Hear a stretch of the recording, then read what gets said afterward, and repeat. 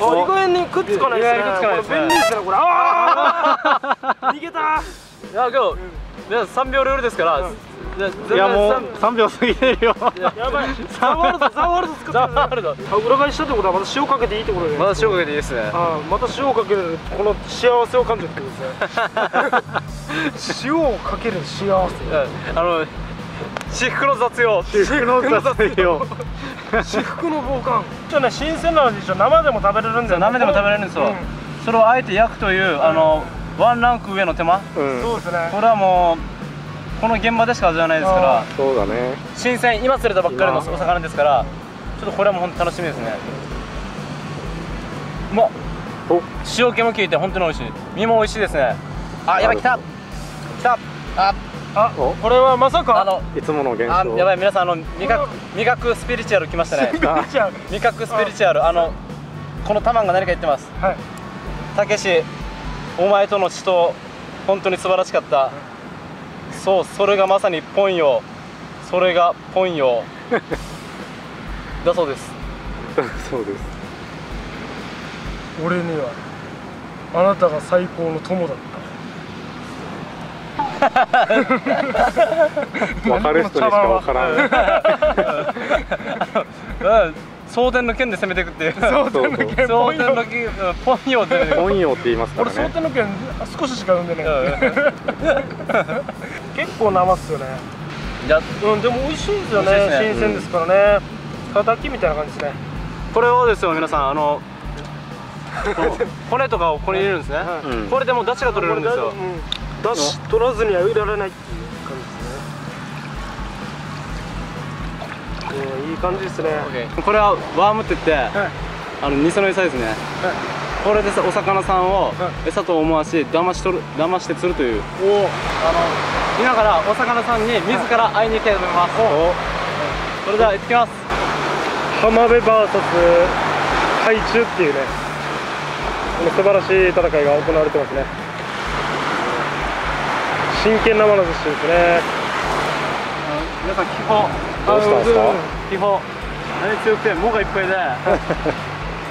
いついつ投げてもこいつが取る。あの海のせ清掃人っていうあの なんていうんですかね。海に入ることによってえボランボランティア精神が湧いてきた。ボランティア精神。海のいいところですよ皆さんさあ皆さんこれにめげずに続けていきましょう。そうですね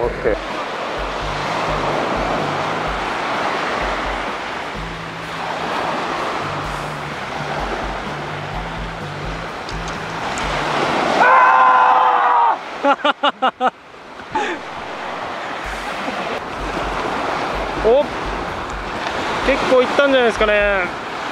じゃあ今からですねあの皆さんできた魚のおつゆをあの容器に入れたいと思います、はい。あの皿がないのであの皆さん見てください。手作り。手作り皿ですね。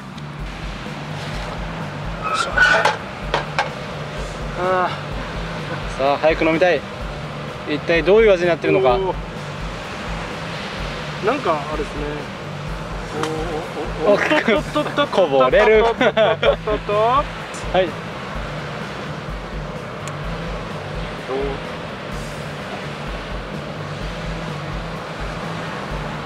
ちょっと味が薄いですね。これ。はい。あの塩入れましょうこれ塩さあ今たけしが皆さんんじゃないですかね。塩入れすぎだろ。待って。大丈夫か？取り戻せるか？うまみっていうのは下に溜まっていくんですよねうまみは。はい。これ16に逆らえないですからうまみも。うまみ成分もこの地球のツツリには勝てませんって。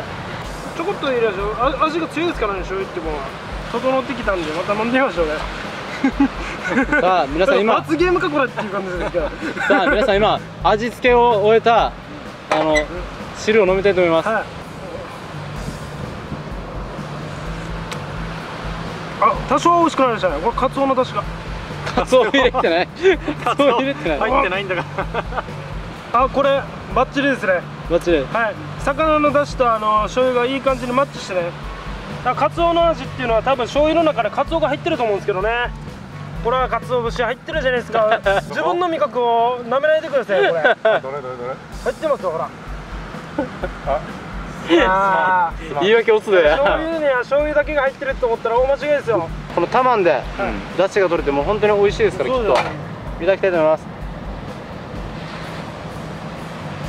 うまっ。いいですか？天才天才だこれ。お。言ったじゃないですか。大丈夫トラベル。来た。あお。あ味覚スピリチュアルその2来た。なんか皆さんタマンがたけしに何か言ってますね。お。なんて言ってるんですか？たけしお前は俺を一度殺してはい。そしてもう一度生き返らせてくれた。はい。それがポンよ そう。それがポンよなるほど。蒼 天なるほど。そう。ってんの今日ダメだな蒼天の剣見た人にしかわからん産地直送ゼロ距離料理本当に美味しかったです。そうですね。美味しかったですね。海の幸をそのまま味わえてなんか大満足ですね。星3つです。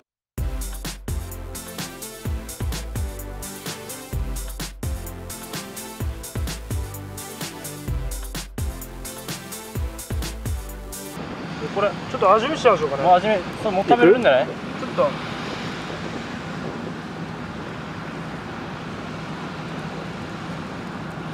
うしたうまい。